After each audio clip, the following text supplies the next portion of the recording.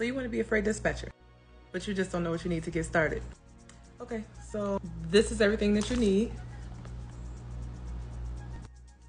How much does it cost? Well, that depends on what kind of laptop you have. Maybe a thousand dollars um, high end, but you already have a phone. You're watching me right now, so you already halfway there. How much money can you make? I have to get closer for this one. Let me show you what I made from one truck. One year, one truck.